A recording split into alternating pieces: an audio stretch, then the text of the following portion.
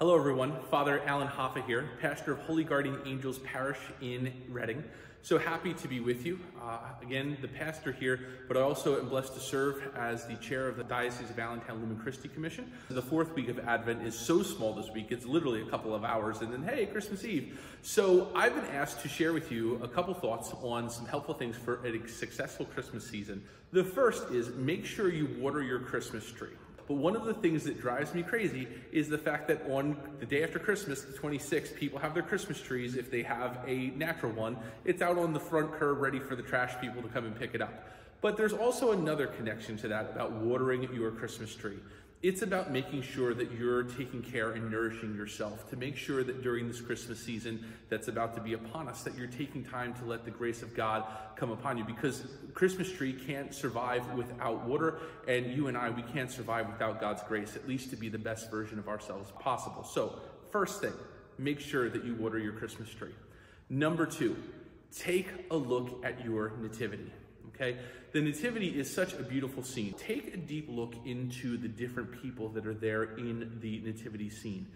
S associate yourself with these different people. Associate yourself with the shepherds. When we sometimes are feeling a poverty of some nature of our lives, and yet God comes to us and He wants to abide with us and lead us to joy.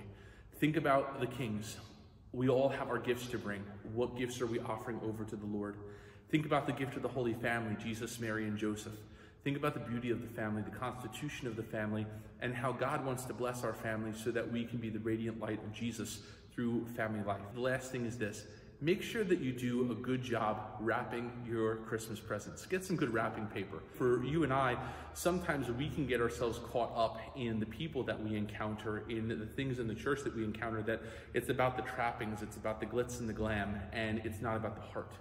And when we put our heart into it, it's not about necessarily how the package looks, but what's underlying the package that we give as the gift. And the same thing happens for you and for, for me. Uh, we may have times where we encounter people and we know ourselves even sometimes we're maybe not dressed up or whatever, but it doesn't mean that we can't extend the love of Jesus Christ, the love of the incarnate Son of God to someone else. It doesn't, it's not dependent on how we're dressed or on the perfect words, because God gives us the words of what we are to say. And so when it comes to our Christmas gifts, uh, we always want to put the effort into extending love through the intention of what we give. And that is the true wrapping that is enkindled and put around that gift that we're able to share with someone else. So I pray that you have a wonderful Christmas season. I pray that it's been a beneficial Advent. But I encourage you to, one, make sure that you're nourishing and watering your life with the grace of God making sure that all of those people that surrounded the incarnation of Jesus are models for you of faith and of devotion and a true help. And finally, make sure that as we give gifts at Christmas, the more important thing is the gift of ourselves. Don't judge the book by its cover, but more importantly, put the intentionality into the gift of hearts giving to hearts. And that, my friends, I think makes for a beautiful, beautiful Christmas. God bless you.